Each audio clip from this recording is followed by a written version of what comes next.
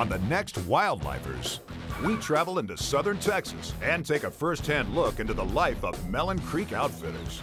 Turkeys, hogs, bobcats, and bucks are the ones people want to meet, but the real characters are outdoorsman and guide Dan Braman and sales and marketing man Jimmy Brown.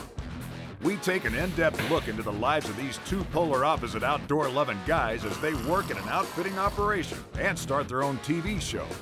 So buckle up, Mary. It's all about critters, cactus, and a straight-up circus full of clowns.